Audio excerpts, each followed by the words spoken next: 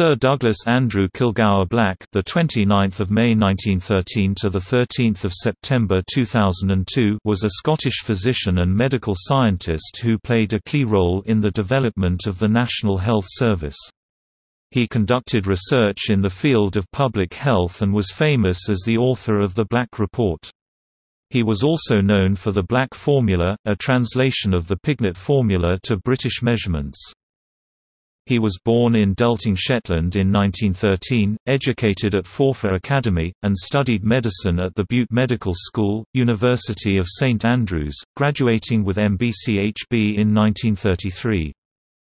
He conducted research into water loss and dehydration, first at Oxford University, and then at the University of Manchester, where he became Professor of Medicine in 1959. In 1974, he became the first Chief Scientist at the Department of Health and Social Security of the UK Government.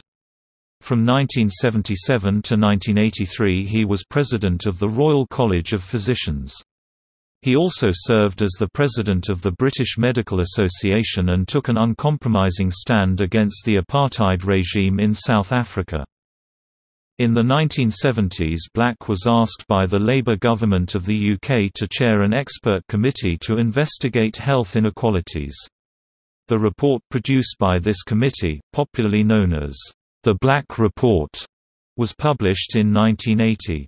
Although unpopular with the then conservative government, it has had a major impact on knowledge on the subject of health inequality since that time, and was published by Penguin Books as Inequalities in Health, The Black Report and the Health Divide in 1982. Later, Black chaired the UK government investigation into childhood leukemia around the nuclear reprocessing plant at Sellafield, Cumbria, UK. Black was created a Knight Bachelor in 1973, and a Knight of the Most Venerable Order of St. John of Jerusalem in 1989.